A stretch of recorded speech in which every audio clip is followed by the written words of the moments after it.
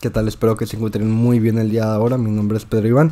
Y bueno, si me ven un poquito cansado, si me ven más serio, es que me está dando migraña, literalmente me duele este ojo, pero tenía que grabar ya que pues bueno, quería hablar sobre un tema el cual eh, tengo muchos, muchos días queriendo hablar sobre esto, eh, nada más que no he podido grabar por cuestiones personales, pero el día de ahora estoy aquí una vez más para hablar otra vez sobre la película de Michael Jackson, la cual pues bueno, como algunos ya sabemos, eh, la película de Michael Jackson pues ya ha tenido sus diferentes noticias a lo largo del último mes en las cuales pues bueno, se han estado anunciando quién va a ser el director, ya se ha hablado sobre pues Jafar Jackson, de hecho John Blank en su TikTok ya estaba hablando un poquito más sobre el tema, el cómo ha estado el rollo sobre para escoger a Michael Jackson, o sea, en general ya se ha hablado un poquito, aunque sea de la película, un poquito más a detalle en los últimos días, y aunque me ha tocado hablar de este tema en diferentes videos y en diferentes ocasiones, me ha tocado ver comentarios de mucha gente que en realidad tiene como que sus dudas con respecto a la importancia de esta película, ya que hay gente que tiene la idea de que pues bueno, eh, ya han salido otros proyectos de Michael Jackson como documentales, como el documental de Bad 25, La vida de un ícono del año 2011. Eh, han salido películas de Michael Jackson como la película de Searching for Neverland del año 2017 o la de Man in del año 2005, las cuales pues bueno,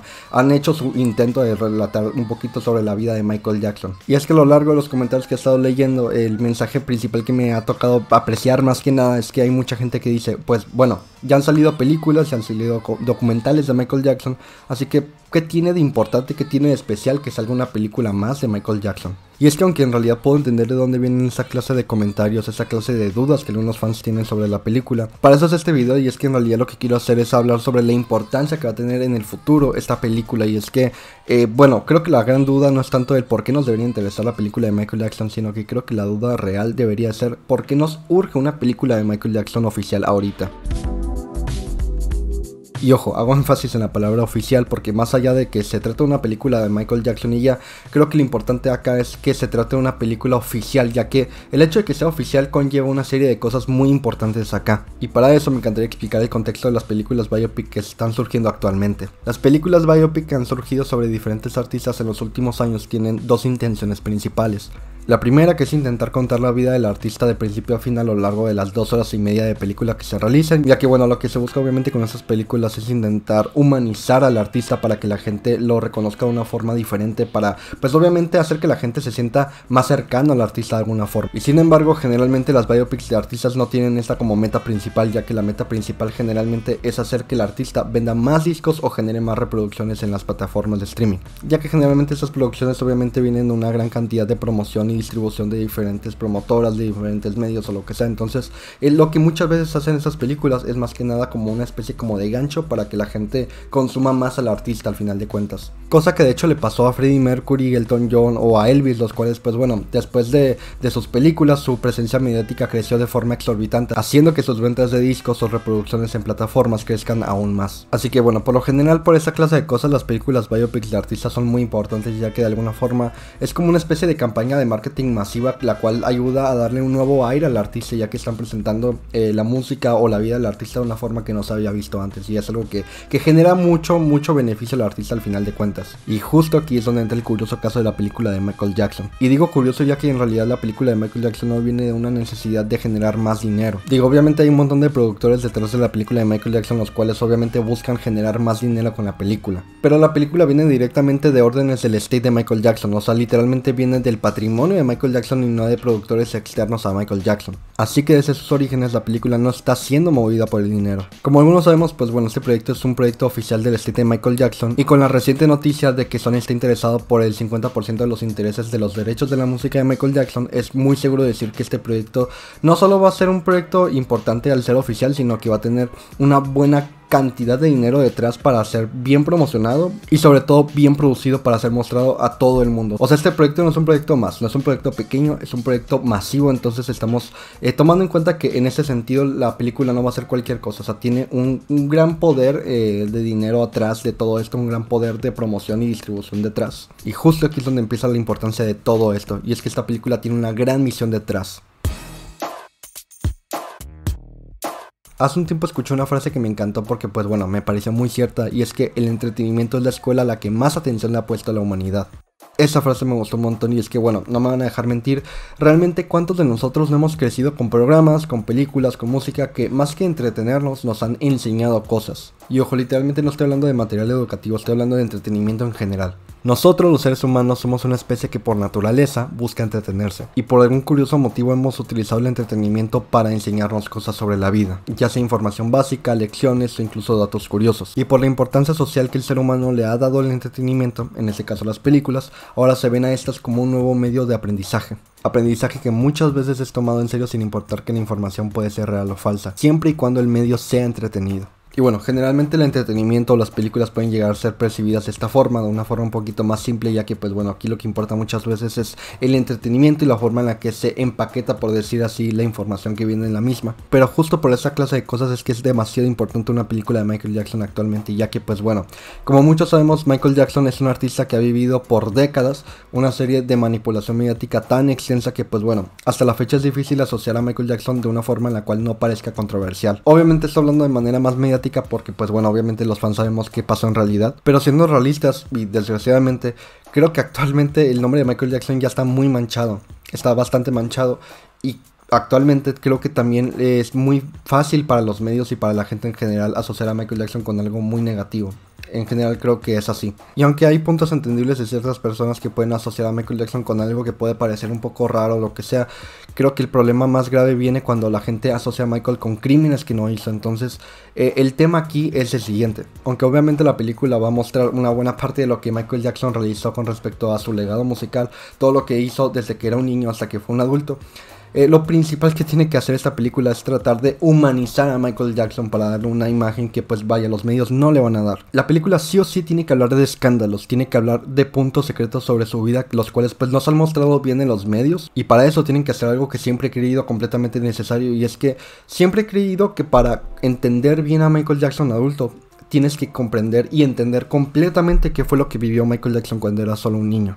Para tú entender a Michael Jackson tienes que comprender cómo es que Michael Jackson vivió toda la clase de abusos que vivió por parte de su papá. Desde la privación de su infancia, desde vaya la carga extrema de trabajo que le dio, hasta pues vaya la exposición que tuvo Michael Jackson a cosas que no debió haber visto cuando era solo un niño. O sea, Michael vio desnudos desde muy temprana edad y fue algo que le afectó completamente. Y eso que nada más estoy hablando de la punta del iceberg, ya que en realidad la vida de Michael Jackson desde muy temprana edad fue un desmadre. O sea, fue algo completamente caótico que claramente la película sí o sí tienen que hablar. La película sí o sí tiene que demostrar el, impacto que tuvo la infancia de Michael Jackson a lo largo de los años que él vivió. O sea, la infancia de Michael Jackson fue completamente tan importante para él que pues vaya, se pueden, ver, se pueden ver los estragos de lo que él vivió de niño, todavía en los 50, o sea, cuando ya estaba en los últimos años de su vida, todavía se ve el daño que eso le generó. Y aunque yo sé que puede haber gente que puede preferir que se hable más sobre la música, que se hable más sobre las giras o lo que sea, yo creo que eso es importante igual que eso, y creo que hasta más el hablar sobre la infancia de Michael Jackson, ya que es tan importante para que la gente en general, los que no son fans, estoy hablando de los que no son fans, entiendan cómo es que Michael Jackson era en realidad, porque mucho de lo que se ha mostrado en los medios, es una imagen que, dejen, ustedes que no es real, está completamente manipulada con la intención de hacer ver a Michael Jackson como una persona completamente perturbadora, completamente rara, completamente... Cuando es como... Michael Jackson era una persona diferente, una persona con una sensibilidad muy única, que claramente le generó daño con el paso de los años pero que definitivamente era mucho más normal de lo que los medios lo intentaron presentar y es algo que la película tiene que trabajar sí o sí para intentar, digamos, poder demostrar al mundo quién era realmente Michael Jackson. Y es que, ojo, aparte de todo lo que acabo de decir, hay otra cosa que la película tiene que hacer muy bien y con mucho cuidado, y aparte de con mucho detalle, y es que la película tiene que hablar muy bien y tiene que explicar lo mejor posible cómo es que el tema de la infancia de Michael Jackson se asocia con las acusaciones del 93 y 2003, y también sobre todo lo que Michael Jackson sufrió y de lo que fue orillado durante esas acusaciones. Y digo esto porque, bueno, los medios jamás van a hablar de forma realista sobre lo que le eh, pasó a él en ese entonces. O sea, los medios se van a enfocar en que fue acusado y se chingó. Los medios no van a querer hablar sobre la realidad de que las personas que acusaron a Michael Jackson eh, están más que demostradas que buscan el dinero de él. los medios no van a hacer esto, así que la película lo tienen que hacer. La película tiene que mostrar el cómo es que Michael Jackson vivió una serie de cosas que lo orillaron a confiar en la gente incorrecta y que, vaya, lo orillaban a tener que ceder ante una serie de manipulaciones que lo obligaban a o pagar dinero o bueno, vivir una, especie de sufrimiento mediático por el tema de las acusaciones. Entonces la película tiene que explicar muy bien y con mucho detalle eh, y con también poco tiempo porque la película no puede hablar solamente de las acusaciones, pero la película tiene que explicar eh, mucho mejor que cualquier otro medio todo lo que él vivió y por qué Michael Jackson realmente era inocente. Y es que al final de cuentas la película más que nada va a ser una especie de celebración sobre lo que Michael Jackson vivió en vida, sobre lo que él realizó con su música, todo el impacto cultural que tuvo globalmente a pesar de que estamos hablando de una época en la cual no existe internet. O sea, Michael Jackson eh, fue un antes y un después en, en, la música, en la cultura pop en general. Y es algo que la película obviamente va a hablar y va a tratar. Pero esta película tiene el gran poder encima de tratar de corregir de alguna forma la imagen que los medios le han dado a Michael Jackson durante décadas porque como dije anteriormente, el entretenimiento es la escuela a la que más atención le ha puesto el ser humano, así que creo completamente en que la película de Michael Jackson pueda hacer un cambio radical en buena parte. Eh, no digo que en todas las personas del mundo, pero creo que puede ayudar a que una muy buena cantidad de gente cambie su parecer sobre él, porque realmente eh, sabemos que la memoria de él está muy manchada, aunque obviamente hemos hecho lo posible muchos fans por tratar de seguir cuidando su legado, cuidar su imagen o lo que sea. Eh, la película tiene que hacer un gran cambio acá, tiene que hacer un gran poder acá de tratar de, vaya, promocionarse por todos lados como la gran película que va a ser y tratar de mostrar por todos lados cómo es que Michael Jackson fue una víctima al final de cuentas, porque eso fue una víctima. Y ese, como dije hace rato, la biopic no parece que vaya a ser algo pequeño, sino al contrario, se nota que va a ser algo completamente sin precedentes, va a ser algo completamente grande. Y es que, pues bueno, teniendo eso del lado de la película, teniendo eso completamente del lado del state, creo que tomando en cuenta esto que dije de lo que la película tiene que mostrar mezclado con el tema de la distribución y promoción que va a tener esta película, la cual se ve que no va a ser cualquier cosa, eh, creo que esto va a ser muy muy bueno para la memoria y legado de Michael Jackson porque pues esto va a ayudar a que el mensaje que Michael Jackson fue inocente llegue a más partes, llegue a más gente. Y nada, eh, creo que más que nada es eso, o sea, la película tiene ese potencial de cambiar la mente de muchas personas y de llegar a tantas partes como pueda ser posible gracias al State y en parte, aunque algunos no lo quieran admitir, gracias a Sony. Pero bueno, ya no me quiero extender más. Eh, creo que es con lo que me puedo quedar en el video del día de ahora. O sea, como dije, es un tema tan complejo, es un tema tan extenso. Y yo sé que para algunos puede ser un poco cansado porque, pues bueno, ya sabemos que al ser una película de Michael Jackson, sabemos que va a hablar sobre su historia, sobre su vida.